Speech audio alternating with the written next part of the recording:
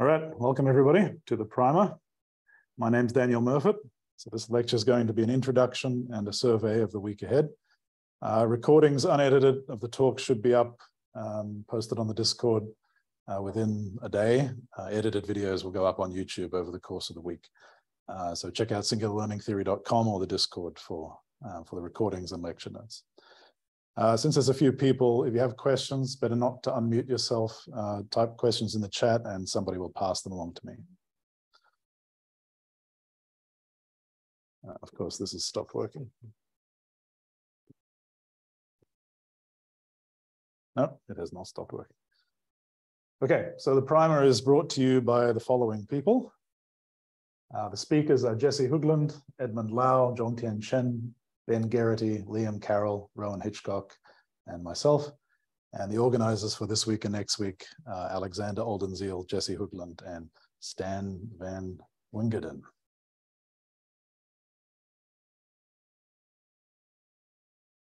So what are we here for? So the primer uh, is an introduction to singular learning theory and related areas of mathematics and physics as a foundation for theoretical and experimental work on AI alignment.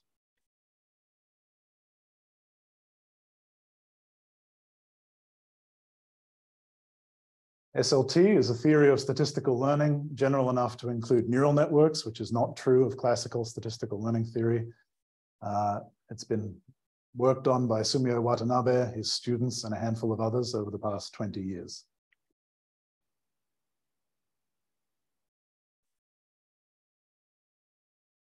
The other element of the title is alignment. Uh, we'll hear a lot more about what exactly that is um, starting this afternoon. But for the moment, I'll just sort of paraphrase uh, Norbert Wiener by saying that alignment is the problem of aiming AI systems. And by analogy, I'd like you to think about uh, the combination of a bow and an arrow. So that's another thing that you aim uh, that has two parts, right? So you configure the initial conditions of the bow and the arrow, and then you release the arrow. And once you've released it, you don't have much more control over where it goes. Uh, so you want to get the initial conditions correct. So that's aiming. Now, I think it's counterintuitive for many people that deploying AI systems might be analogous to firing an arrow, because many of today's computer systems and AI systems are of the form where you can turn them on, but then you can turn them off and you can change what they do, you can change the training data. Uh, but many people are concerned, and I'm one of them, that as we move forward with more advanced AI systems, while in principle it still might be possible to do that, effectively we may not be able to do that. And that's an old concern going back to the very beginnings of AI, back to Turing, Ian Good, Norbert Wiener, uh, von Neumann. Many other people foresaw that this loss of effective control would become an issue as soon as systems became sufficiently capable. Um, to maybe double down on the analogy with the bow and arrow for a minute. So a bow and arrow is not a generic physical system, right? So you choose this system precisely because once you've fired the arrow, to put it bluntly, it's hard to dodge, right? Uh, the fact that it's hard to dodge is because it moves quickly, and it's because it moves quickly that you can't effectively control it once it's launched. So you didn't choose the system to be hard to control directly, but the reason you chose it is highly correlated with the fact that it's hard to control. And AI systems are fundamentally like that.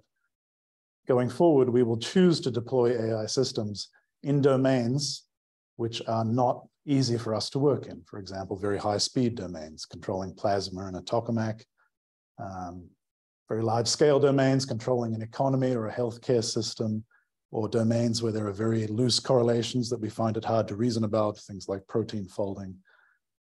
And it's in those domains that, like by the nature of the fact we're choosing to deploy the system, um, and we're incentivized to do so, it's not unrelated to the fact that it will be hard to reason about what it's doing and make effective decisions about whether it's doing those things correctly and when to turn it off. Um, okay, so that means that configuring the initial conditions becomes extremely crucial, and that's uh, part of the problem of AI alignment. Okay, but what has statistical learning theory or singular learning theory got to do with that? Uh, well, fundamentally, it's easier to aim things that you understand. Okay, so uh, we hope that statistical learning theory, singular learning theory, uh, will help to understand these systems and therefore to uh, assist with aligning them. This is not a field that exists. Like it's starting right now. okay, so don't expect announcements of uh, 300 interesting theorems and profound results.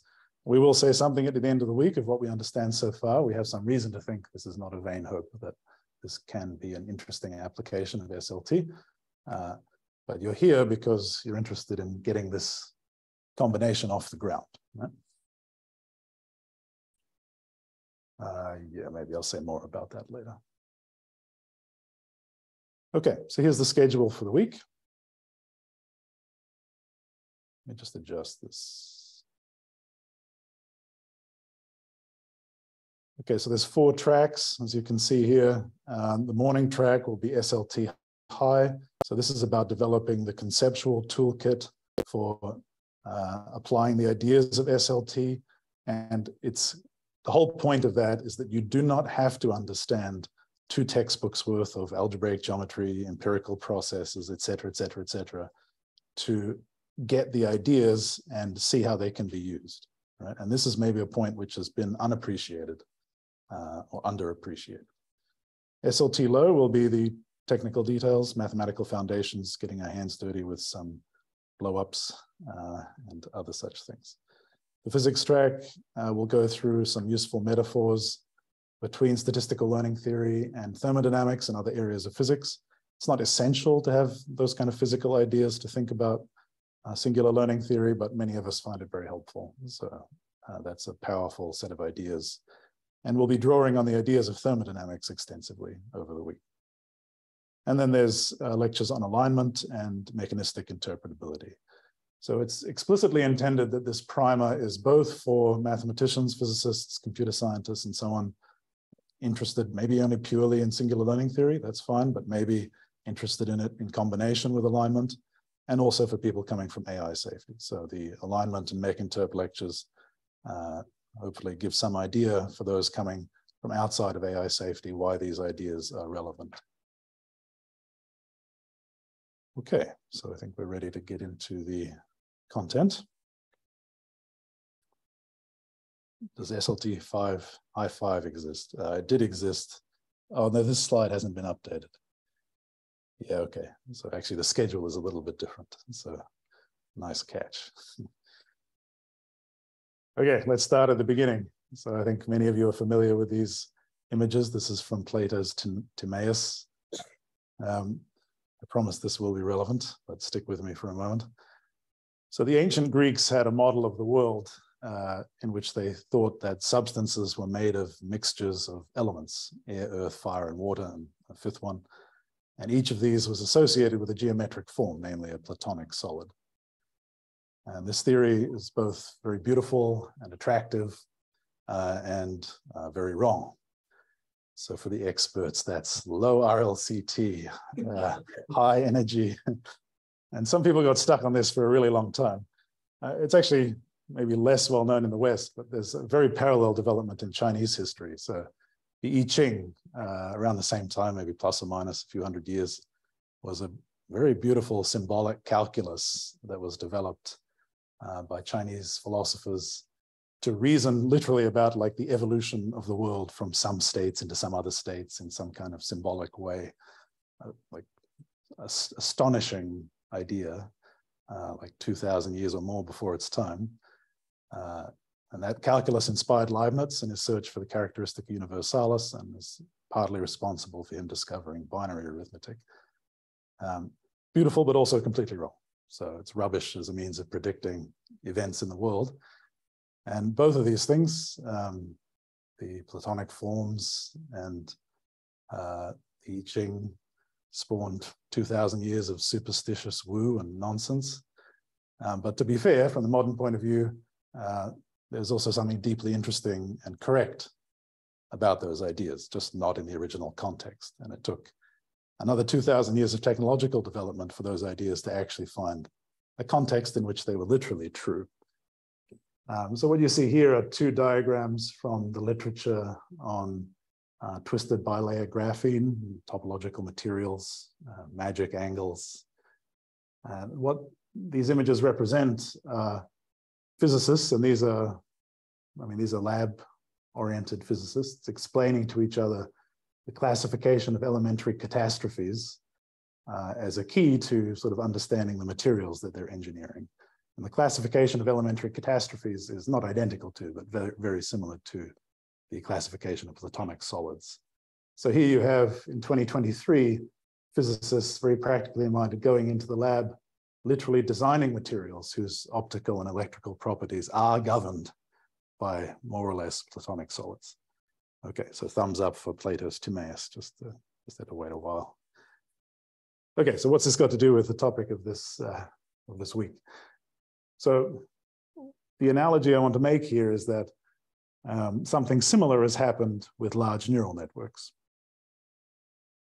In the sense that technology has progressed, we're now producing statistical models of sufficient scale uh, that new mathematics is required to understand them, or arguably it's required to understand them.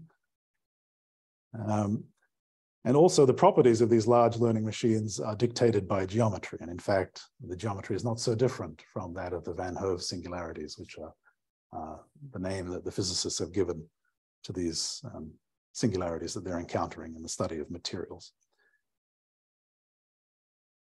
Okay, so um, as technology progresses, it opens up new territory for mathematics that has existed for some time to be applied. So singular learning theory is not new, right? It's 20 years old, some of the fundamental theorems.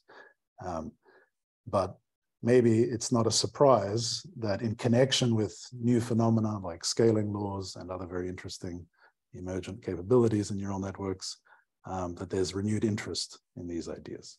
And that's, uh, that's sort of why we're here. Okay, so the key ideas for the week.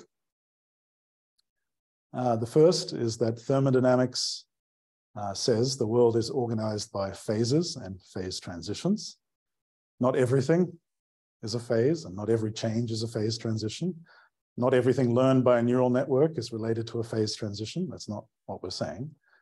But many interesting things in the world, uh, many of the basic categories we understand are phases, or at least are associated with phases. And many changes that are distinctive, interesting, and important are phase transitions. And we believe the same may be true in neural networks. So thermodynamics is the first key idea. The second is geometry. Yeah. So it's been understood for a long time how phases and phase transitions are related to differential topology and algebraic geometry. It's a well-developed field of study, stable maps, um, it's topologists like Rene Thom, Arnold, many, many others have, studied these connections. And under this dictionary, phases are associated to singularities. Um, so just briefly, a singularity of a function is, is, a point where the function has at least non one, where all its derivatives vanish. Um, and unfoldings uh, is the, the singularity theory language for uh, what we call the phase transition in physics.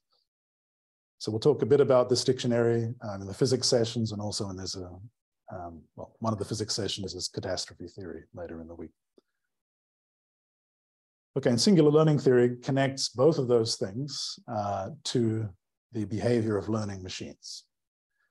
Uh, this is in some sense not a new connection, right? So statistical physics has long been understood to be related to learning, uh, going back to Hopfield and even earlier work there's been many, many connections drawn between statistical physics and uh, optimization theory, learning. Uh, geometry has been less involved in that dictionary to date, and there's very good reasons for that. Um, so singular learning theory introduces not only algebraic geometry into the mix, uh, but even, even without that, uh, it sort of pushes forward this bridge between statistical learning theory and learning, sorry, statistical physics and learning. Um, Okay, and to tie all that into alignment, um, So as I said, we don't expect that, well, uh, while we don't understand uh, how neural networks, well, neural networks exposed to lots of data often manifest internal computational structures. We don't understand those structures very well, but there seems to be sufficient evidence to believe that uh, there is structure and that it can be understood. Not all of that structure probably has anything to do with thermodynamics or phase transitions, uh, but it seems that many important structures do. And again, this is only like in the last few years that we really sort of start to have uh, fully convincing evidence of this. Um, but we believe important structures do form in phase transitions. This also is not a new idea. Developmental biology has been talking about phase transitions, analogies to statistical physics, and even catastrophe theory uh, for decades. Um, so maybe you could see that as a vote of confidence in something similar being true for neural networks. And we believe, therefore, that uh, understanding phases, phase transitions, singularities, and all of that in the context of singular learning theory should allow us to say something useful about those computational structures that are being learned. And that uh, is interpretability. And after that, uh, interpretability uh, is relevant to alignment. Okay, uh, maybe I'll pause here for questions if there's any. I didn't, did I miss any in the chat? I don't think so. No. Okay. All right, onwards then. Okay, so that's at a high level. Here's the mathematical object that's going to be the center of our attention uh, over the course of the week. So the free energy formula, which is closely related to the WBIC, uh, is the main theoretical result of statistical learning theory so far. you would agree, shall we? Yeah.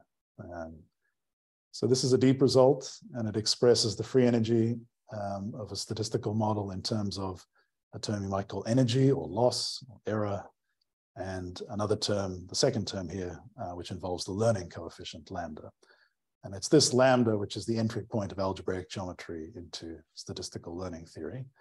I'm not going to explain the terms in this formula right now. That's a matter for uh, Jesse will say something about it, this formula later today, and we'll get deep into it uh, in tomorrow's SLT high session.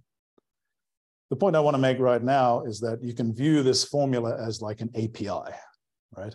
So the free energy formula, if you understand what the terms in this formula mean and what this formula is about, you can go ahead and use it to say non-trivial things about uh, learning machines and in particular neural networks. And convincing you of that will be the whole point of tomorrow's SLT high. So I'm just going to take this formula and show you how you can say some simple things using it. Um, and that's uh, what thermodynamics is about, right? So my undergraduate degree was in uh, physics and then drifted into mathematics. Uh, my most hated subject as an undergrad was thermodynamics. I thought it was the most stupid thing ever. I thought my lecturer didn't un even understand calculus properly. Uh, and I sat there thinking, this is like this is like cooking class. I just take a fundamental relation, I do some derivatives, and then there's a laundry list of stuff I can say. like, show me like where's the string theory, man? Where's some mathematics? Okay, but I was so completely wrong. That was the best class I ever took as an undergrad, because that's the leverage of thermodynamics, right? Like, you know, one relation and some first year calculus and algebra, and you can say heaps of stuff about a system. It just happened I didn't care about those statements as an arrogant uh, youngster, but that's the power of thermodynamics, right? And uh, this free energy formula is a fundamental relation uh, for statistical learning theory. It's not the end of the theory, right? Uh, there's much more to be done, but already we can do something, some very interesting things with this.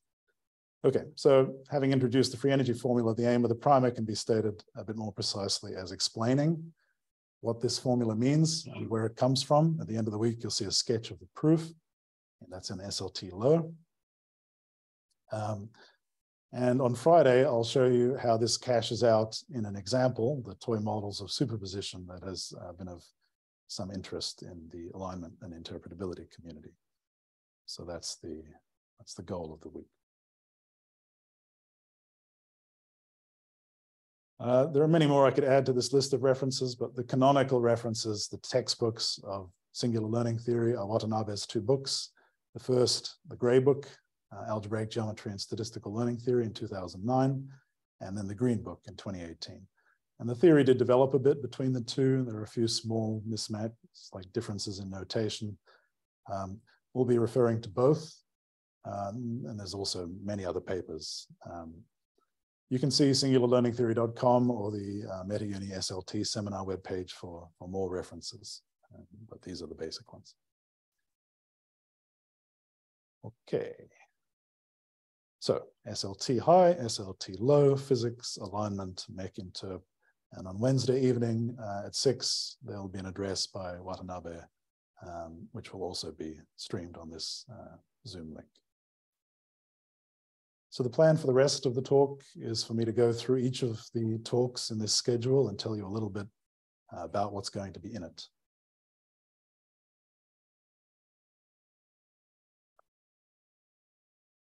Okay, I already said a little bit about what the first SLT high lecture is going to be. Uh, this is a somewhat mysterious diagram from section 7.6 of the Gray book.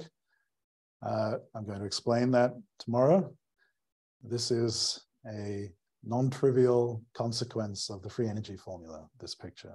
Um, so this is a picture of generalization error uh, against number of samples. And uh, the diagram is illustrating the change in the nature of the singularity, which determines the currently kind of preferred parameter as the number of samples increases. Okay, so this is a very interesting um, angle on the learning process. So in SLT High 1, I'll introduce the free energy formula, um, sort of explain what the terms in it mean, and then show you how to use it to uh, predict phase transitions uh, for some meaning of predict, right? So given, I'll define phases and given values of uh, the energy and learning coefficient, we'll talk about when we expect phase transitions to happen and uh, the susceptibilities that diverge at those phase transitions. And I'll say a little bit about kind of dummies theory of um, double descent and uh, scaling laws as a consequence of those ideas. SLT High 2, um, Liam Carroll is going to take those ideas about phases, phase transitions, free energy, and so on, uh, which will be basically purely abstract. There'll be no examples really in that lecture. It's just theory. Uh, Liam's going to take those ideas and show you what they mean in basically a minimal neural network that has first and second order phase transitions. So this is a one hidden layer ReLU network. Um, and Liam's going to talk about all the symmetries. You can classify all the possible symmetries of that network. Uh, many of those have been discussed, but there's like one quite strange one. Um, and he'll explain how those symmetries give rise to phase transitions as you vary the true parameter uh, or as you vary the data that the network is learning from. And there will be lots of eye candy because Liam's good at that.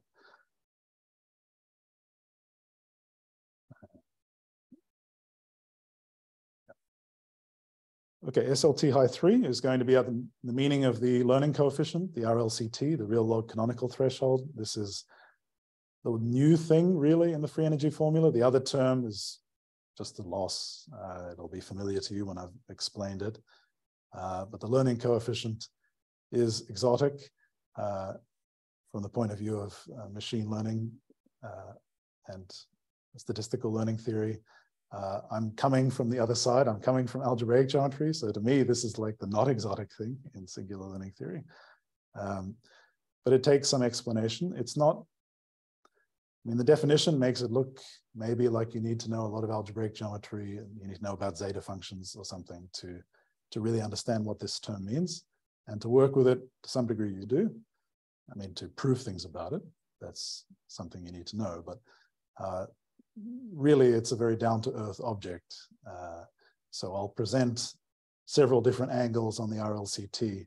And hopefully by the end of that, you, you understand that this is exactly what it has to be, and it's very closely related to uh, things that you understand as measures of complexity. And the final lecture of SLT High uh, will be about uh, superposition, as I said. So this is a uh, small neural network that was introduced by Elhage et al. from Anthropic in a paper two years ago. I forget when. Last year. Time flies. Yeah. Okay. Uh, last year. Um, very interesting little model uh, exhibits um, some interesting behavior in connection with interpretability. Uh, but even independently of any connection to alignment, this is this model is a fantastic golden little gem from the point of view of singular learning theory because it exhibits many interesting phase transitions and other structures that are genuinely like not easy to find good examples of. So I'll talk about that and the relation between the phase transitions we observe in this model and structure formation. And it's uh, like many things we care about in this connection between SL, SLT and alignment are just exhibited very clearly in this, in this toy model. Okay. So that's it for SLT high, SLT low, the first one of which will be today. So this will be the next lecture, SLT low one. Um, Edmund Lau is going to present an introduction to statistical learning. Um, you'll, you'll learn the basic language of Bayesian probability and see many of the players that will appear throughout the rest of the week, KL divergence, generalization error, uh, etc. And um, yeah, I think plenty of examples from what it looks like. Yeah. So in the second lecture of SLT Low, Edmund's going to build on that and uh, take you from the regular case, which is kind of classical statistical learning theory or the framework that, like if you learn statistics, uh, you would have learned mostly about theorems that hold in the regular case. Uh, and step through some intermediate cases between there and like the horrible 100 million dimensional singularity of GPT-4. Um, so there are intermediate cases where the math from the regular case still sort of works. Uh, and that's a very useful bridge as you're trying to build intuition about the sort of genuinely singular case.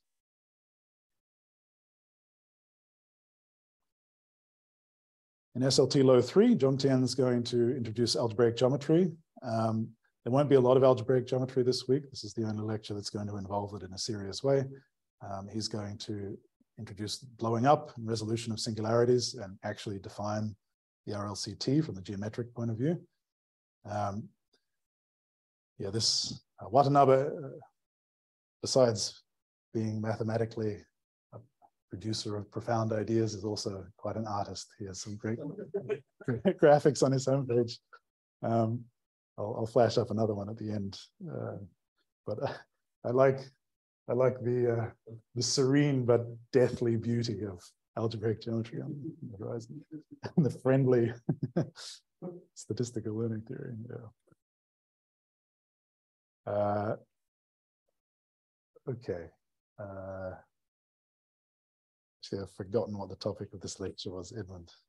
What's this one about? As a proof of the free energy formula. Yeah, yeah, the, the, the, number changed. Yeah, that's right. Okay.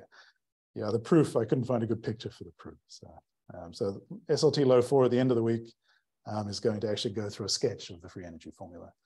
Um, obviously, to really understand the proof, you kind of need to read the Gray book. Um, but the ideas, uh, you can get some intuition from the ideas in the proof without, without having gone through all that.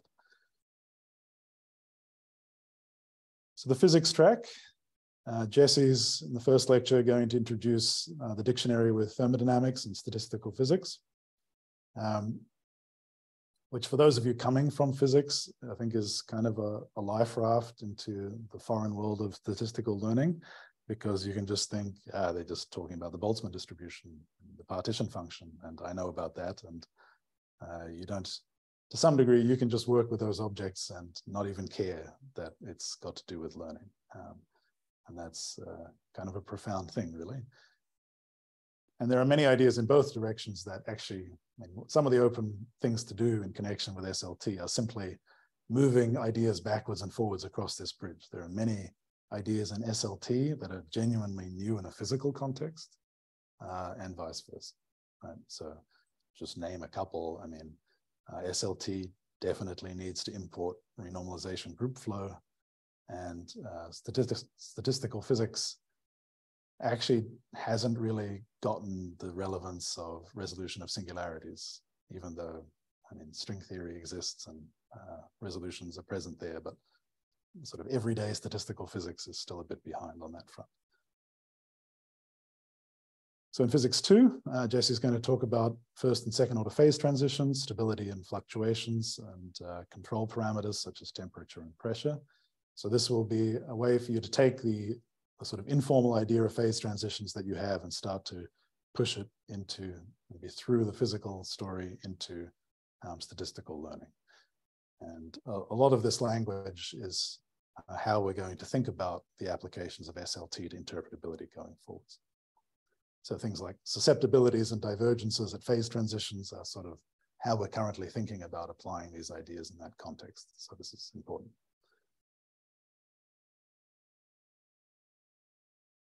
Yeah, maybe there's an idea here, um, which I'll introduce before describing what's in the lecture.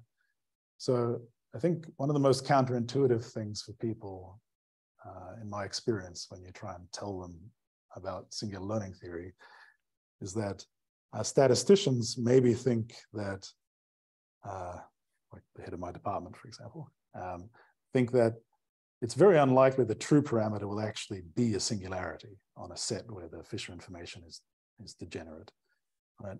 So if, because that's a set of measure zeros. So singularities are kind of like distinct things, right? They're lower dimension than the space of all parameters. So they're measure zero. So from some point of view, you can say, well, like they're not the generic thing. So how maybe I can just choose to ignore them. Um, and it, it's not true, but it takes some argument to understand intuitively why it's not true. In statistics, I think people haven't really done that exercise until now, but in physics, people have gotten this for a very long time. Right? Um, so, uh, for example, in nonlinear dynamics, um, it's uh, the way you introduce it to students. These pictures are from Strogatz's textbook, um, which Jesse will be speaking from, and I've taught courses from in the past.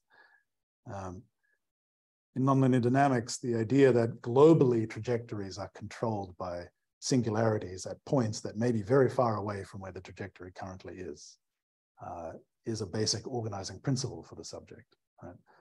So even though singularities may be a measure zero set, their influence is everywhere. And this uh, is part of the link between geometry and topology, right?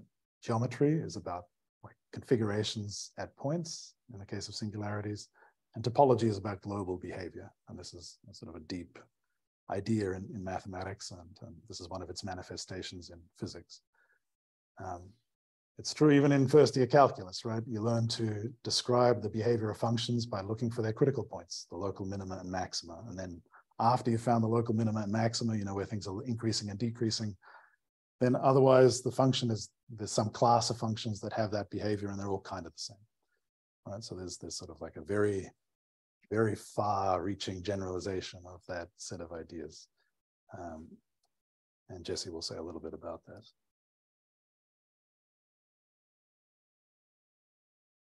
Now, some of that story about how geometry and topology are linked uh, has sort of been developed under the name of catastrophe theory. So Gilmore uh, has an excellent textbook on this, and I'll be giving a bit of a basic run through of the early chapters of Gilmore's book, um, talking particularly about the cusp catastrophe, uh, which is related to um, let's see, a solid liquid gas phase transition is, is a these are sort of the same diagram in some sense, although uh, it takes a little bit of math to see why they're the same. The cusp bifurcation will come up again in the story of the toy models superposition on Friday. So this um, sort of developed, this lecture is sort of leading to that. So that's it for SLT low, SLT high, and physics. And the alignment track um, Jesse is going to first present the case for existential risk from AI. And this will cover some of the reasons to think that superhuman AIs are not only possible, but likely on our current uh, trajectory, and why such AIs will not automatically result in human flourishing. Um, so these are kind of arguments that if you're coming from the AI safety point of view, uh, you'll be familiar with, but uh, it's not obvious, I think, if you're coming, uh, if this is a new idea to you, uh, it's not obviously the case that there's something to worry about here.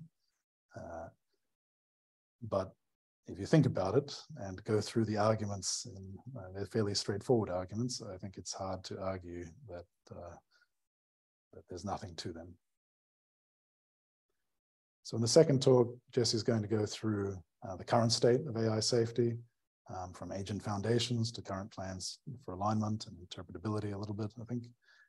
Um, and he'll start to outline why we think that phase transitions, including during the training process, should be a, a key organizing principle for uh, one way to, to move forward on technical alignment.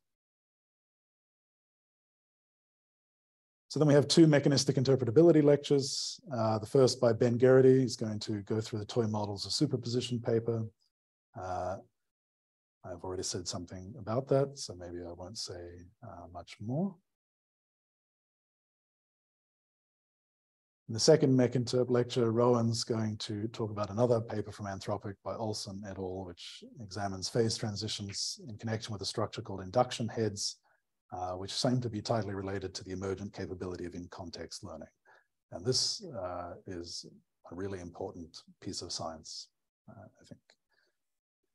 So some of the open problems in connection with the idea for applying SLT to alignment uh, lie around studying these two models, toy models of superposition and the induction heads model, and seeing if we can say something about the phases and phase transitions involved in both of them, I claim we already know how to say something in the toy models of superposition case.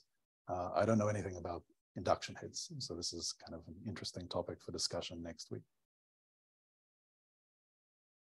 And then we're going to finish, um, as I said, with an outline of how we think all this might come together uh, to direct something uh, that we're calling developmental interpretability, where we look at the phases and phase transitions over the course of training and assemble those structures into um, something that is a model of the computational structure that's inside the final learned network. All right, and that's it for the synopsis. Uh, I'm going to finish with a little bit of an FAQ, partly tongue in cheek, uh, in order that maybe you feel uh, open to ask questions in the chat. Um, but before I go through the FAQ, um, maybe on the topic of singularities being kind of exceptional uh, rather than generic, uh, it's important to note that the reason why we sort of see singularities appearing in our models uh, is that in some sense, the singularities are also in the world, right? The world is not in a generic high entropy state. It's very ordered. Uh, and some of the generating processes that generate that order are hierarchical and structured in a way that naturally means singularities when you model them.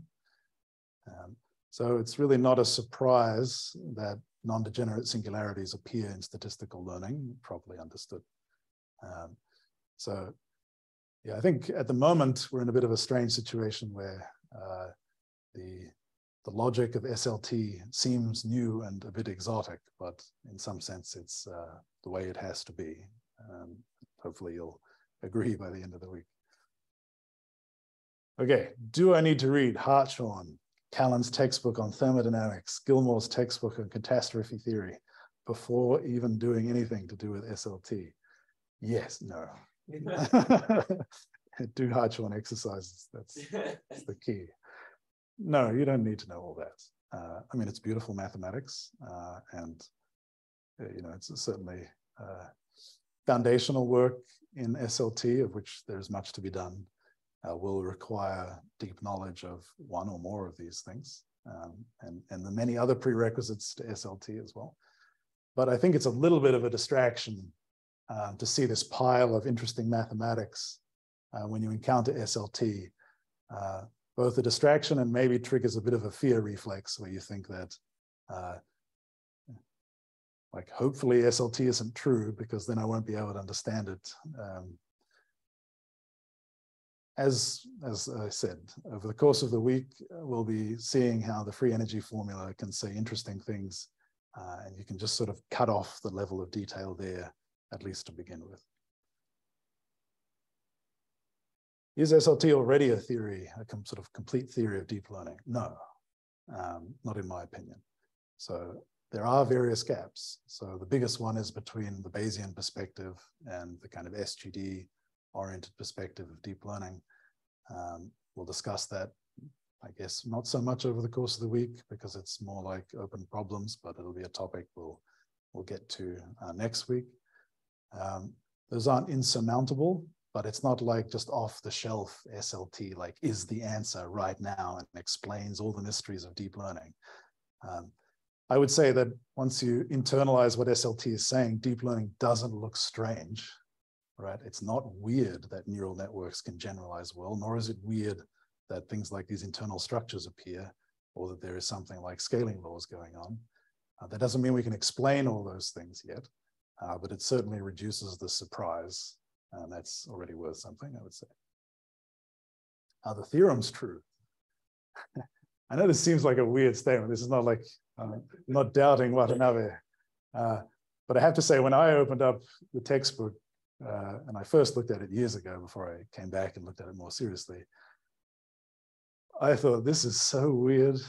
Uh, and then when I came back to it, and I thought, okay, this looks super profound and yet nobody is talking about it, right? Like there's very little, there's, there's not really a community out there. I mean, there's Watanabe and his students, and they've done amazing work, and, and a few others, uh, like Shaowei here. Uh, but it's not something that has been developed by a large community. And, you know, I'm a pure mathematician. I'm used to small communities, right? But somehow the situation with SLT was weird. Like if it's true and like it's obviously on its face beautiful and links very interesting things. Uh, if it were true, how come people aren't talking about it? So I had to suspect it was false. So, uh, but now we've checked most of the theorems, and uh, no, it's true. Okay, so uh, people were just missing the boat. That's it. Uh, yeah, re-missing the boat.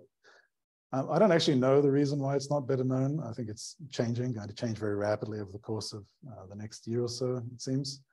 Um, I think it's mostly just that applied mathematicians um, aren't generally looking to take on board fundamentally new math um, or develop fundamental new math. It's not a criticism, that's their job, right? They're, they're meant to take tools that are relatively well developed and, and use them to do interesting things. Um, so I think that many people looking, including in ML, looking to apply um, mathematics generally aren't up for spending a year like doing nothing else but sort of acquire an understanding of SLT in case it might pay off. That's like not the trade-off people are looking to make. I think that's one of the reasons, but um, maybe there are others. Yeah, unsingularity is just a nuisance. Um, it's interesting because singularities have been discussed in other parts of information geometry, right? I mean, SLT is very close to information geometry. In case you're curious, information geometry, sort of like the differential geometry take on the story that SLT is like the algebraic geometry take on uh, at some high level. Uh, but of course, differential geometry has to, is scared of the singularities. So obviously SLT is better. Um, and a lot of the attitude towards singularities in optimization theory has been that they're a nuisance, right? Like neural networks will get stuck in local minima. They'll get stuck in a saddle point. Uh, it would be better if there were no local minima in the loss landscape and you could just roll all the way to a global minima. That would be utopia. Um, now, even without SLT, we know that's like really a bit naive. Um, we know plenty of situations in, say, physics where the local minima of a potential sort of classify very interesting geometric forms, right? So it's not like it's not like there isn't structure in the things that aren't global minima. But if you're driven by getting the lowest loss to like solve the problem, uh, then it makes sense to be uh, worried that singularities or critical points are in the way. Um, it's not straightforward to refute this, right? Uh, but I think the evidence that's emerging, and I'll speak a bit more about on Friday, is that the the singularities are where the information is, right? And passing through them or near them is like sort of exactly the process of translating that information into the internal structure. So um, one should take singularities sort of seriously on their own terms. Uh, there's a lot of singularities that are sort of generic. So um, you may be familiar with, say, ReLU networks, where there's various kinds of discrete and continuous symmetries that aren't very interesting. Um, if SLT were only about those, it would be a very shallow theory. It's not. There's more to singularities than just somehow the generic ones. Uh, and that'll come up in several talks over the course of the week.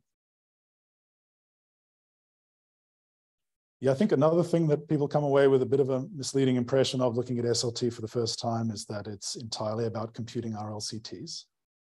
Uh, and then if you take that view, then uh, maybe it seems pretty pointless to study SLT because nobody's ever going to know the RLCT of GPT-3 except GPT-4 or 5. um, no, we're not going to compute RLCTs of these things. Um, although, you know, the idea of doing resolution of singularities in a billion dimensions has a certain kind of masochistic charm to it. Um, but that's not the point, right? So, uh, and here the analogy with theoretical physics and sort of applied physics is, is also uh, very useful, right? So people apply thermodynamics to all kinds of systems even though computing the theoretical values of like the scaling exponent requires like 40 years of theoretical work and like a Nobel Prize, right? So it's it's not actually a prerequisite to apply these theories to be able to compute the theoretical quantities. Knowing that the learning coefficient sits in the free energy formula uh, is to some degree like what you need to know. And uh, there's lots of interesting geometry in computing RLCTs. Uh, it's not that I'm not interested in that, and it's not interesting, but it's not. It's not like we're not bottlenecked on that. Okay, uh, where do I start? Yeah, we'll talk about open problems and um, sort of projects in week two. Yeah, so as a follow-up to this, we'll probably do something with more details uh, mathematically later in the year. Uh, but you know, ask questions about it uh, if you want it to happen. Volunteer if you want it to happen. Spot the difference. okay. Um, yeah, on the topic of lots of mathematics being involved in SLT, this is another one of Watanabe's. Well, he, he didn't put the Shoggoth in it. Uh, this is another one of Watanabe's great diagrams. Um, so there's a lot of interesting mathematics between, um, I guess this is the, the cold mountain, uh, between algebraic geometry and, uh, and machine learning and AI. Um, okay, and we'll leave it there for today. And uh, questions? Ben, Yeah. Can you explain a little more about how you came how I came to SLTs. Uh, that will seem very convoluted. Okay. Um, so my PhD was in algebraic geometry. So I did derived categories and uh, triangulated categories, Grothendieck duality. Um, and I worked on singularity theory.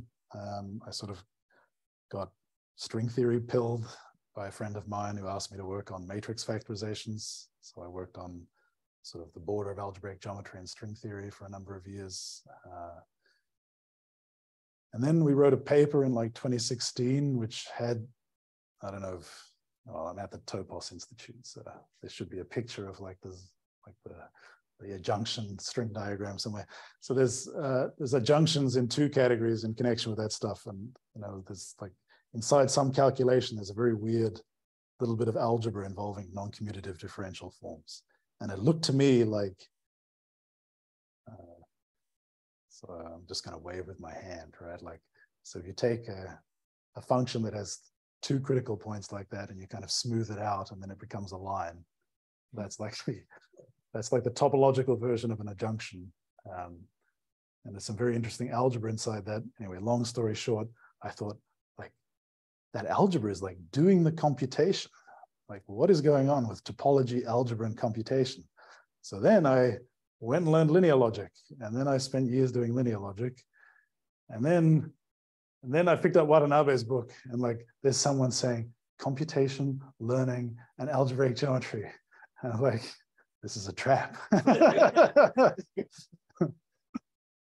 so yeah, then I started reading his book, and uh, yeah, I think uh, I think it's the the books that have had the most impression on me as a mathematician were EGA and uh, and Watanabe's book.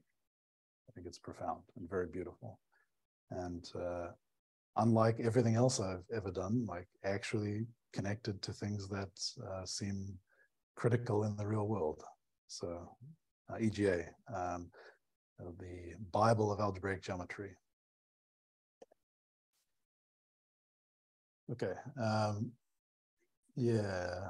Well, yeah, maybe you can do that. Yeah. So uh, there's one question. To what extent does SLT take into account computational consideration? Oh, I see. Uh, into statistical learning? You, you, whoever asked that question, you mean in a fundamental sense, like uh, like time complexity, or just mean in sort of a practical sense, like you can't do Markov chain Monte Carlo in 100 dimensions?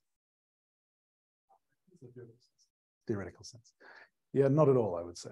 Um, I mean, there is sort of like a division between intractable things like computing the posterior and tractable things, uh, which is kind of like bread and butter sort of statistics. But in terms of time complexity or an understanding of fundamental constraints involved in computing these quantities, I would, I would say it's not studied as far as I know.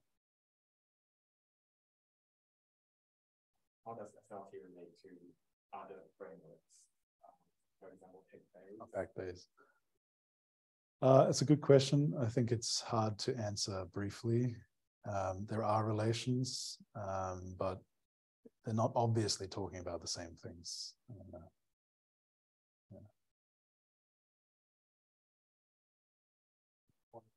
Physics want to go into that a bit? Yeah, yeah. Maybe this seems like your group with the SLT research landscape looks like right now. Research landscape. Uh, yeah, okay. Um, so I have a bunch of students uh, PhD students, master's students. Some of them you'll, some of them are speakers in the primer this week. Um, I guess mostly we've been spending our time over the last year or two wrapping our head around the theory. Um, there isn't so much easy low-hanging fruit in SLT, which is maybe one of the reasons why it hasn't been picked up to a larger degree. Uh, but um, there are avenues for progress, I think, now. Um, so focusing on phases and phase transitions is, for example, one of the things we think is crucial going forwards. Um, and that, there are theoretical problems to do with that, so it, it actually isn't uh, isn't right now the case, I think, that the state, well, there are various generalizations of the free energy formula that are sort of necessary to, to move forward um, with the story about phases and phase transitions. So that's maybe one line of work, working on phases, phase transitions. And there we were sort of uh, bottlenecked on having a good small dimensional example. And as I mentioned, this toy models of superposition is like actually a gift. It's a tremendous example for that. Um, there's also lots of things to be done in building uh, more bridges to other parts of mathematics that are already involved in SLT. But uh, for example, I mean, there isn't anything I'm aware of um, applying stochastic DEs in the context of SLT and vice versa, applying SLT in the context of SDEs um, and more algebraic geometry. So jet schemes. Um, I've spoken in some seminars in the SLT seminar at MetaUni about relevance of jet schemes.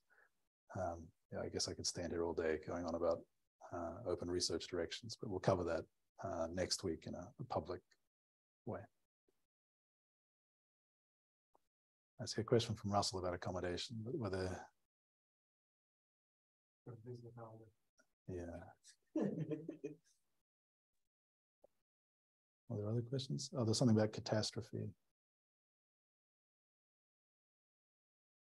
Yeah, catastrophe is a technical term. Uh, well, Thom uses it to mean event. So René Thom has a crazy book, uh, Structural Stability and um, Morphogenesis. Uh, crazy in a good way. Uh, he's a French mathematician. Uh, so catastrophe theory comes out of that book. And actually, a lot of the ideas we're going to be presenting about um, developmental interpretability and like these ideas about second order phase transitions and their role in development of a complex system uh, in many ways go back to Thom. So that's a brilliant book.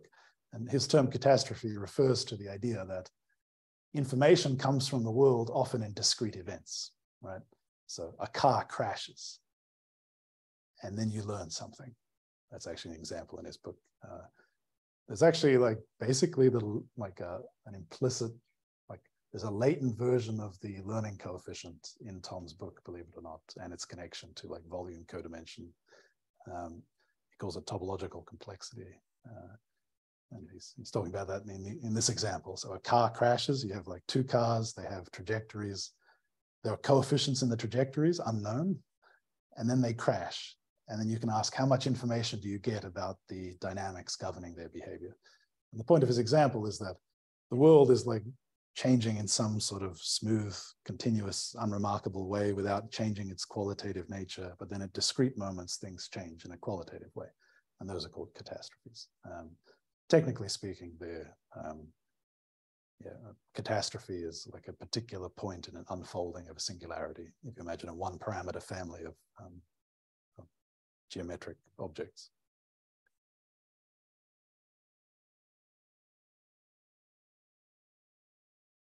Yeah, by the way, you don't have to read EGA either.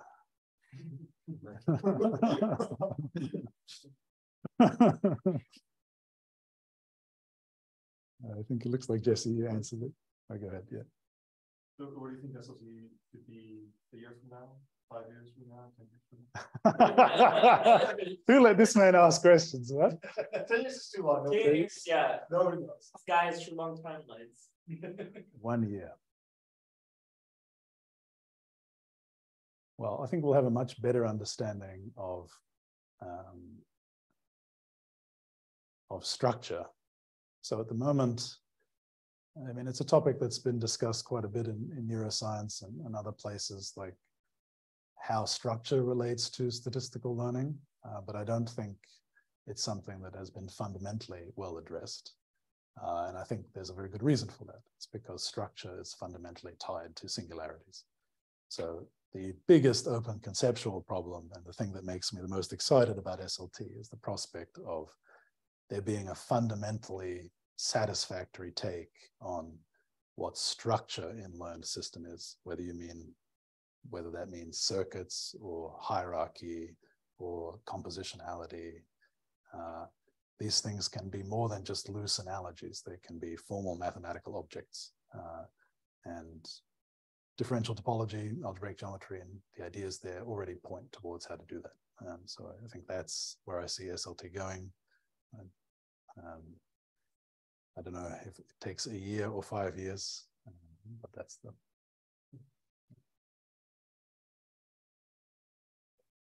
there anything we should uh,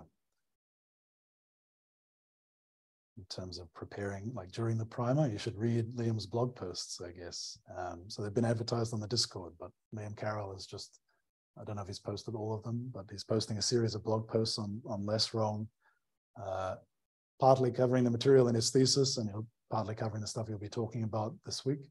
Uh, but those are an excellent exposition um, and uh, also Jesse's written a very nice blog post uh, on this on similar topics. Example of a prediction you might make about GPT-N or a state-of-the-art system. I think that's an unrealistic expectation in a year. Uh, beyond analogies based on analyzing smaller systems. I I mean, to some extent, these the scale of the system is irrelevant from the point of view of universal statements, right? So if there's some universal kind of properties, not in the sense of category theory, but in the sense of like universal phenomena, critical phenomena. Um, if there are universal structures that appear, then they will appear in both small and large models, gate kept on some kind of scale, I guess. So I think it's plausible that we'll analyze small models like things that are built on top of the toy models of superposition or related ideas. Um, and we'll analyze, we'll understand how to think about that in some deep mathematical way. And those would suggest structures that are present in larger models. But uh, beyond that, I, I, have really no idea. Um, you do. What, are your biggest constants? Sorry? Biggest crux, biggest source of uncertainty? Yeah. Uh, I mentioned it already. It's not clear to what degree structure is. Well, there's both universality of structure, so that like understanding the computations that appear in some model, what that tells you about some other model, that could just not work. Uh, it could also be that much of the structure is sort of ad hoc bullshit, right? Like a thousand kludges stuck together with sticky tape and like accumulated special cases, et cetera, et cetera, in which case there's like no phase transitions. It's just you roll down some hill from a random initialization and you end up somewhere. And the somewhere you end up has no more structure to it than the location in parameter space that it's at. It's just what it is. Uh, in which case, well, maybe we're screwed. Uh, but mathematics is not clear. Mathematics tells you anything about that. So I, so if that's the case, so it's a question of universality and to what degree the structure that we care about actually is formed in phase transitions. Um, it seems that quite a bit is, uh, but we really don't know, I think. That's a very important open question. Uh, and I, I, I think it's an open question. I really don't know. And that would be the two well, if, if they're both true, okay, so if they're universal and all the structures formed in phase transitions, it could still be the case that at scale, it's impossible to understand it because every phase transition involves 1 billion parameters and uh, there's just no tools we can run fast enough to understand uh, what structure emerged in that phase transition because it's too, too entangled with everything else. Um, so maybe there's like a cluster decomposition principle that also needs to be true. So this is an idea from, so in quantum field theory, uh, you, you, set up the problem in a way where you say that the S matrix in some part of space-time is like independent from other parts. So if there's like a cluster decomposition principle for, for the kind of structure that emerges in phase transitions where it's like small chunks change in each transition and they're more or less, they're linked, but not too tight. Uh, if those three things are true, then I think we're in good shape. But I think all three may need to be true. Regarding specifically the first point, so the structure of this, uh -huh. what evidence points to you thinking that, that, that we might have structured internals for large models like GPT-4? Yeah, I guess there's like an outside view where it seems unlikely they would be able to perform as well as they do without some kind of internal structure that is fairly general rather than just being hundreds of kludges stuck together. Um, I think there's the changes in performance over scale, right? So, uh, okay, so well, let me start from like the more anecdotal through to the more scientific. So anecdotally interacting with uh, GPT-3, GPT-3 and a half, GPT-4, um, say with just math problems, you clearly get the impression that there's a more systematic understanding as you progress through the models. Um, whether that systematic understanding means more structure or not, I mean, I suppose it's an intuition that it does. Um, so that's in the large models. Um, in the smaller models, I mean, I guess we have some evidence from mechanistic interpretability that there are some algorithms internally that aren't just kludges. Um, I think the strongest example would be induction heads. Um, beyond that, yeah, it's partly, to be honest, uh, just the kind of, uh, you know. Oh, your hand was up. Yeah, but Oh, I need to finish. Um, it's hard to think of another explanation uh, for why increasing scale would help um, beyond there being more sort of computational structure. Um, you know, they can represent more in terms of memorization, uh, but we we sort of see that uh, I don't think that's a sufficient explanation. So why uh, why you, it couldn't be something other than memorization or structure? It could be a third thing. Yeah, could be. Um, but it seems like the most simplest explanation to me is that uh, the kind of computational structure that we would implement to solve problems is, um, well, maybe not the same as we would implement, but some kind of underlying algorithms are being learned. Seems like the simplest explanation. Also necessary for any interpretive approach. Sorry? Internal structure is necessary for any approach to learning. Well, not asking GPT-4 to interpret GPT-3. Um, That's just Yeah, I mean, it, it's a fair question because you could just have a kind of correlation based approach where you feed inputs through the network and you see which neurons activate when other neurons activate, and you maybe there is no internal structure that produces those patterns. It's just a kind of emergent structure that's like not reflective of anything internally. That could be the case. I really don't know. Uh, so maybe it's not the most optimistic thing to say and not very good propaganda, but I would say that I'm interested in SLT in connection with alignment, mostly because maybe we get lucky and there is structure. And if there is structure, we should like have some effort towards understanding it. I don't know that it's there. Yeah. yeah, um, getting lucky doesn't sound great. Um, what do you think of the prospects of an SLT based approach to inform future more engineered systems rather than Mm. the sort of undirected optimization that GPT maybe is based on? Yeah. Uh, I think that speculatively that would be like one of the outcomes of I mean if you took if you took the structures that are in neural networks and you could understand how they formed with phase transitions and you had a kind of dependency graph between all those phase transitions and you understood the singularities involved then I mean that's pretty close to an algorithm, not only from an informal point of view, but the way that those singularities fit together is pretty much how you would write a program in like like a bordism category or something, right? Not, I mean, it's not purely topology, so it's not only that, right? there's more. But that is in some sense, like if the SLT, that kind of program succeeds, that would mean the target for interpretability is a kind of exotic new kind of computational artifact, right? Which is a mix of those kinds of objects. And then nothing would stop you from taking that artifact and trying to like author in it directly, I guess. But I, I have no idea. How do you think about dual use? Sorry? Dual use? Dual use. Yeah. Uh,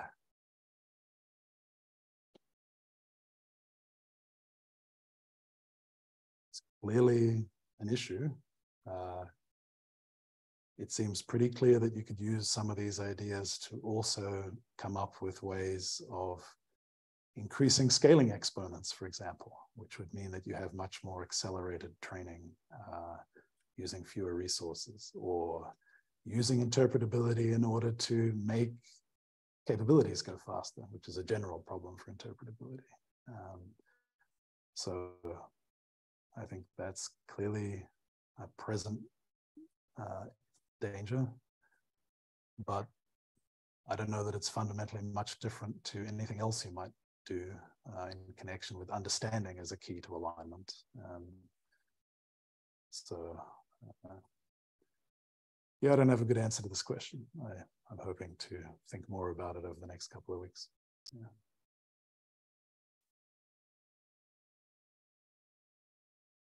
what do you think is the strongest evidence that state-of-the-art models are on the SLT side of the spectrum, not the idiosyncratic cluster of heuristics? Yeah, right. Um, I mean, uh, maybe I'm committing the sin of just uh, I think assuming I think too you much, answered that already. uh, shared I knowledge. think you answered So that maybe I'll go through some some basics here. So, I mean, we do understand that in say vision networks, there are some elements that are sort of, I mean, that's the original circuits work. Um, some elements that do seem to be comprehensible and implementing some kind of neural network native form of algorithm. Oh, you like like my previous answer? Okay, well then. That's good. yeah, okay. Um, okay, common knowledge circuits. Uh, yeah, we'll talk about, I mean, uh, I'm a big fan of the recent interpretability work. Uh, obviously, it's fairly exploratory, um, but I think it's uh, very intriguing as a hint of deeper structure. I think I have a lot of intuition coming from other areas as well, right? So uh, we'll take thermodynamics, for example. Thermodynamics doesn't have to be possible, right? Like thermodynamics says that even though there are trillions of degrees of freedom in many systems that are surrounding us, nonetheless, some very small number of high level macroscopic numbers basically allow you to predict what's going to happen, at least in terms of equilibrium states.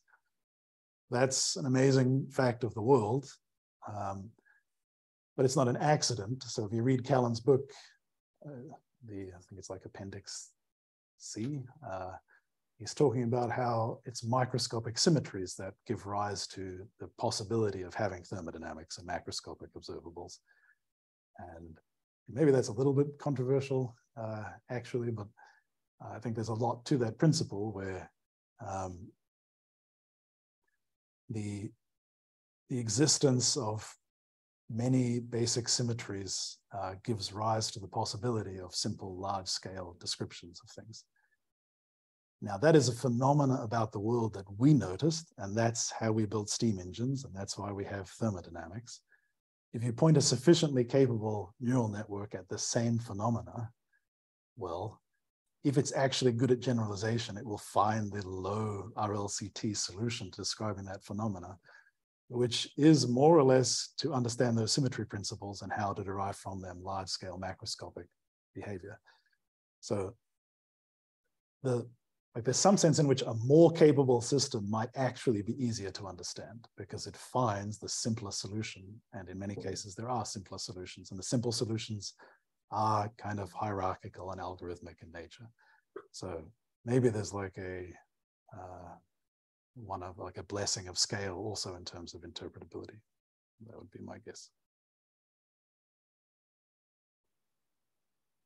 Okay, thanks for all the easy questions. Can I, I have some hard questions now? What is the hard question we should ask? Yeah, yeah. Yeah, um, I, so my other favorite, uh, physics flavored theory of deep learning is this book called Principles of Deep Learning. Theory. Right, right. So it's basically like, you know, you start with the neural tangent kernel and then you look at the operator that controls the change of that, and then you look at the operators controls the Yeah. change of that. And then you decide that like, those are all the ones you need up to order one with square. Um, I'm wondering if there are any relations between singular learning theory and this other tool. It seems kind of cool. Yeah, almost certainly. I don't know what they are.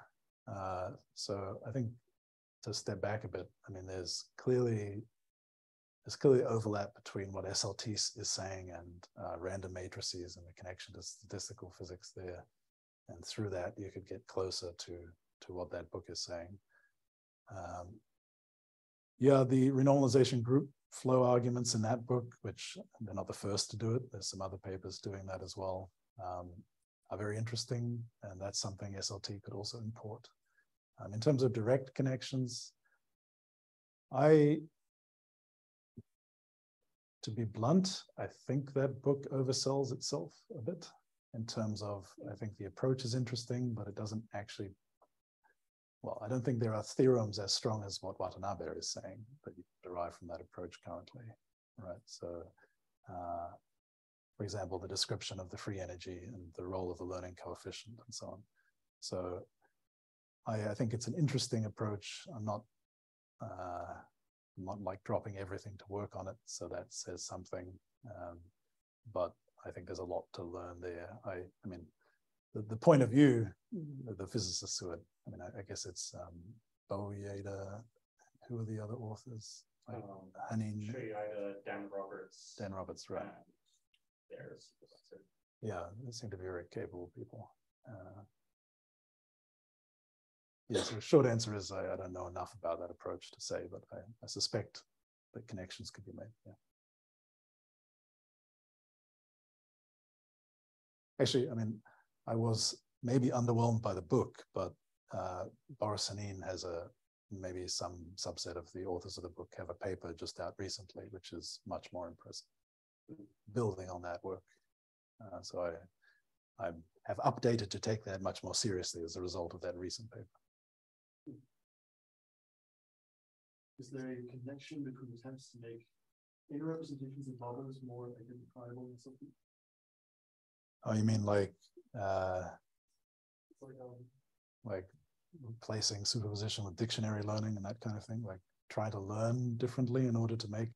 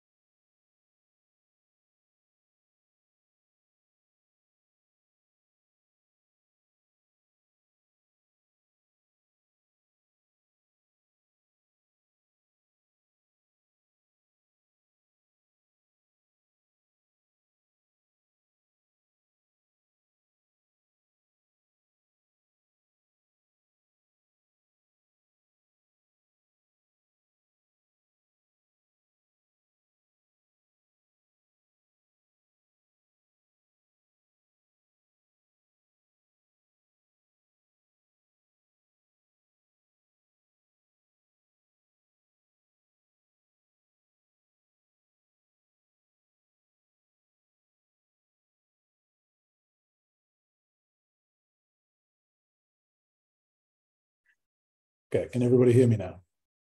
Yeah. Seems so.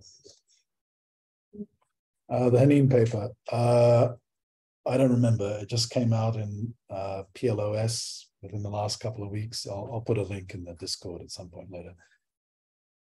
Uh, the question about inner representations of models more identifiable. Yeah, I, I'm not sure that's actually a good idea.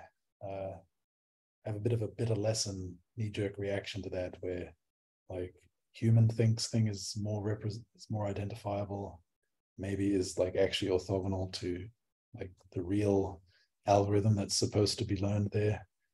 Uh, can i make maybe a fundamental uh, repeat a bridge q&a uh, i was just trying to figure out the nature of the question so maybe that's not useful. Um, maybe i'll reframe the question uh, and answer a reframed question. So the reframed question is contrast two things. One is like letting them, like having networks do whatever they do best and find the solution that they want to find and then try and understand it versus having a more constrained search space so that you sort of know in advance that the thing it's going to find uh, is comprehensible. That, of course, has a very like good old fashioned AI flavor to it. Uh, and there's no real reason, I think, to think you'll succeed to a greater degree than that did. Um, that's maybe a rude answer, but uh, it feels like that's a no man's land where, I mean, the advantage of letting the thing do what it wants is that maybe it's sufficiently universal and like following the underlying mathematical structure closely enough that it finds something that is simple and then you understand it. Whereas the the I'm just communicating instincts, right? I haven't really thought about this, but uh, if you if you take this more structured thing and then try and find a solution, maybe you don't get the benefits of that universality and you don't actually end up with the benefits of interpretability either. But that's just a guess. It's ignorant.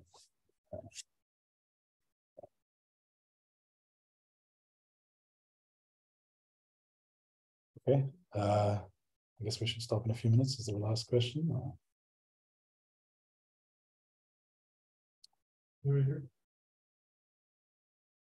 Okay, and thanks everyone. And uh, so we'll be resuming for SLT low in 11. 11, yeah. Yeah, thank you very much to the Topos Institute and to Shaowei for hosting us here. It's uh, it's very kind. Yeah, thank you very much.